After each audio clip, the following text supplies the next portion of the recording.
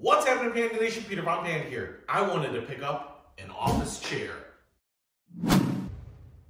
Hey, actually, I had my buddy John come and he had to actually do some work at a table in uh, my guest bedroom. And so I wanted to get a chair so that he could do that, make him nice and comfortable, something really ergo. And I could have gotten a Vork chair, but I decided to get a TOPVORK chair.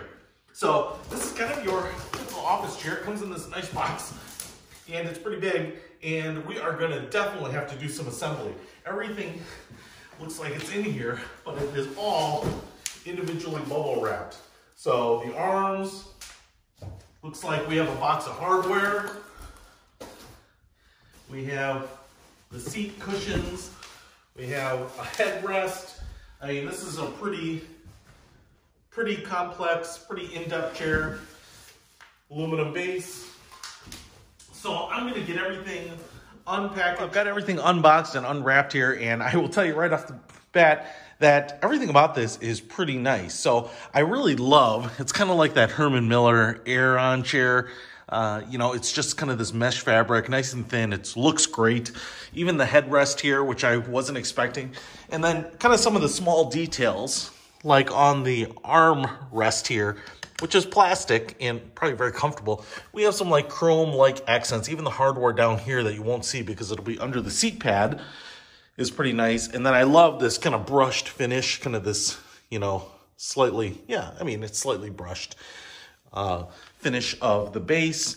And then there is the seat mechanism, and then we have casters and the cylinder. So it should be pretty straightforward to put together. Now I'm gonna save you some frustration a little later. I wish they had a little sticker up here that said front. What you can see is that you get a little kick up here or kick down, depending on if it's oriented the right way, and a curved edge. And this curved edge is the front of the seat. You can see that the back part is really kind of straight, and that's gonna be where the back butts up again. So you just wanna make sure that you're orienting it for the curved portion of the cushion, and you've got those arms kind of pointing forward. So that's going to save you some hassle if you put everything on and then realize you're going to have to flip them, which I did.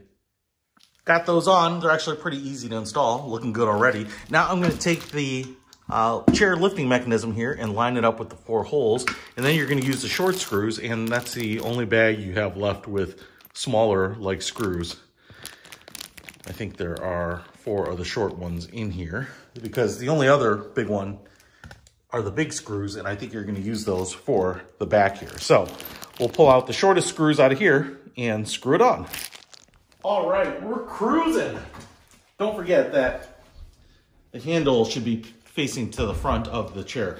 Now we're going to install the back here, and that's gonna screw on here, and we're gonna use the three big screws, which comes with its own Allen key. So let's get this thing installed.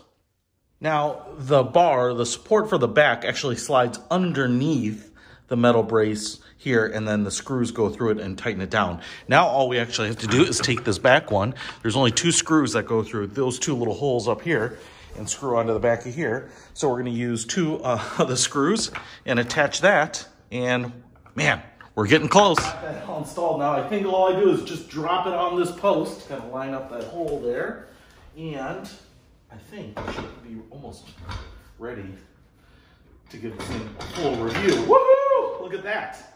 Let us take a close look at it. I love this chair. It's pretty awesome as I kind of give you a tour. I mean, it's got all high quality parts. I love this mesh back. It's really comfortable and this fabric mesh uh, cushion down here. But I, what I really love is this headrest. So many don't have it. And again, it's mesh with kind of this polyester type of frame here. As you can see here, it has a little uh, hinge so you can angle it, you know, get that to the right fit. The uh, arm here actually moves up and down. There are some little detents in there so you can move it down or up and it'll stay in position, which is super nice. I love that too. Down here on the back, we have a lumbar support. So you, you can loosen it or tighten it, which kind of, if you clockwise it, it pushes that out. So you'll get more or less support. But then the other thing is you can see it's on a track here, so I can move it up or down so you can get that right to wherever you want it.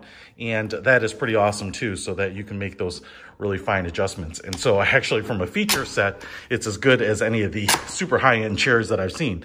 Now, this uh, frame here, this like plastic rigid frame is super robust. I mean, I'm really impressed with that. I'm surprised it's not heavier than it is. Now, um, on the arms here, you can see we have little chrome surrounds, and then these switches will allow you to lift up or uh, lower the armrest, which is really awesome. But then on top of that, the armrests here, which are kind of a soft padded plastic, you know, not only move forward and aft, so if I can do it without swiveling the chair here, so you can see they kind of move forward and backwards so you can get a nice angle. They also twist so that you can kind of captain chair them in and bring them in and push them forward so you can find a nice adjustable um, position for everyone. And then you have all your normal seat controls down here, up, down, lock, forward, back.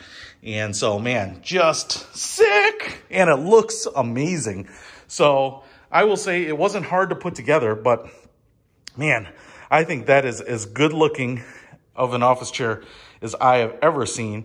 It was pretty straightforward to put together. Take my tips, make sure you orient the bottom cushion the right way to begin with. But man, this thing is sick and it's not that expensive. So I will put a link to it. You don't need a Vork. You need a TOPVORK. Link to it in the description below. Peter Von Panda. Out you